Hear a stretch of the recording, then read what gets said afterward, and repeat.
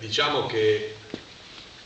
quasi tutto è stato detto da Rodolfo, io posso fare un po', un po la storia, un po' poi le, lo stato attuale di questo progetto che sta partendo. E tutto quanto è nato praticamente da alcune chiacchierate fatte con Rodolfo, ma principalmente l'idea poi è stata su quindi adesso dice che lo dovrò fare io però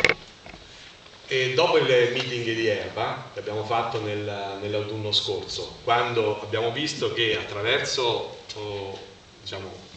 dal vivo la partecipazione è stata diciamo, buona, però è attraverso la rete che abbiamo visto che c'è stata moltissima partecipazione. A parte la diretta che è stata fatta, che stiamo facendo oggi, ma poi tutte le riprese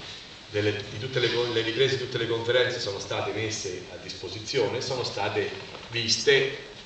diciamo, diverse eh, centinaia di volte da astrofili o non sappiamo chi,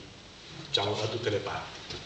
Abbiamo ripetuto la cosa poi adesso con un meeting che abbiamo fatto a Macerata su 400 anni della pubblicazione di Siderius Nuncius e anche lì abbiamo avuto un riscontro positivo per cui abbiamo detto perché non fare anche un questi sono gli indirizzi dove troviamo le, eh, le, le conferenze fatte, perché non fare un, anche questo videocorso, visto che abbiamo a disposizione delle persone che ormai riteniamo nostre amiche che ci seguono e ci eh, in qualche modo anche incoraggiano con la loro partecipazione alle, a queste iniziative diciamo professionalmente e umanamente importanti.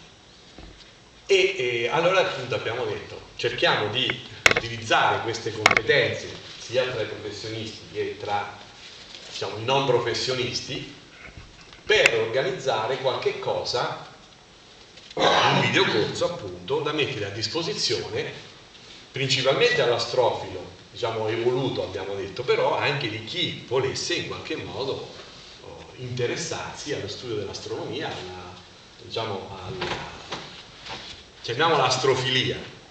in generale. Che cosa è venuto fuori quindi? È venuto fuori che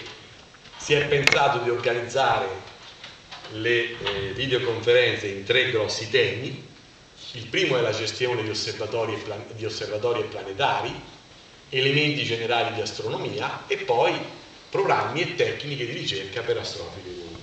Questi sono i tre ambiti in cui pensiamo di poter sviluppare